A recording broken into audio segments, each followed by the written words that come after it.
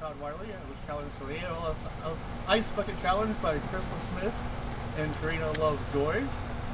I would like to nominate Pat Tra- Patrick Kreiger, Jacob Kreiger, my adopted kids, Casey Carson, Zach Smith, Michael Ireland, Rachael Ballard, Ballard um, my sister Melissa Wiley, and my dad Phil and Rita Wiley, Melissa's boyfriend Terry Haynes, and her daughters Brook Haynes, Krista Haynes, and Teirra Riddle. Riddle.